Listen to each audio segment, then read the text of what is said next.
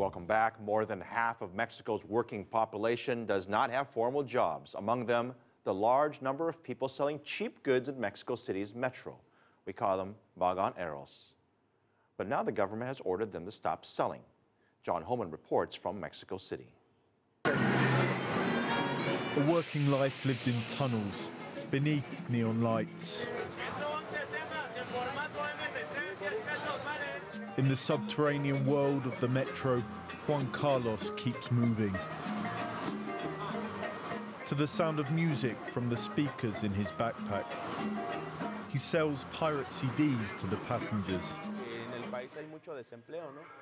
In the country at the moment, there's a lot of unemployment, and the minimum salary here isn't enough to live off. I rent, and I've got two children, and I have to find a way to bring money home.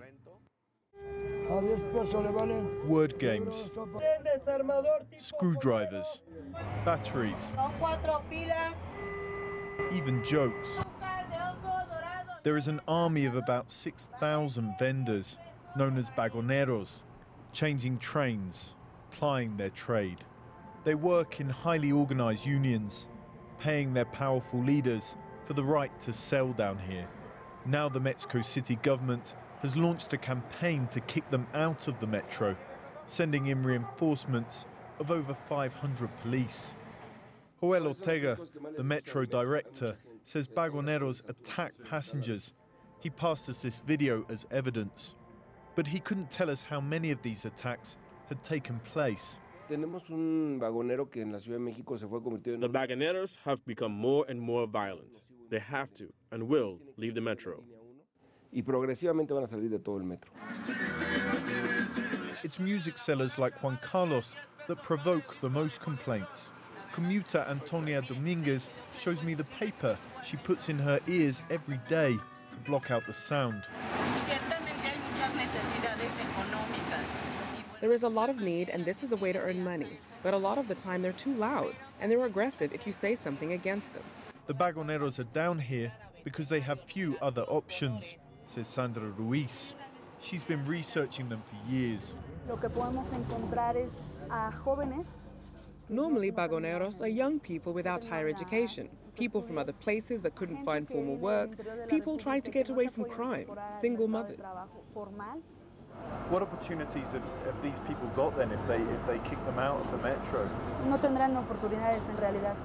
They won't have any opportunities to find work. If those existed, they would have found them already. I asked Joel Ortega if metro authorities are working with vagoneros to help them find other jobs.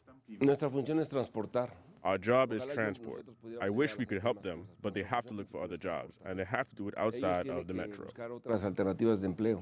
Bad news for those who have worked here most of their lives. Many of the vagoneros have been walking these trains selling their products for years and they don't see themselves as a nuisance but as an integral part of the metro system. We found our way to a mass meeting of vagoneros underground to see how they intended to deal with the government crackdown.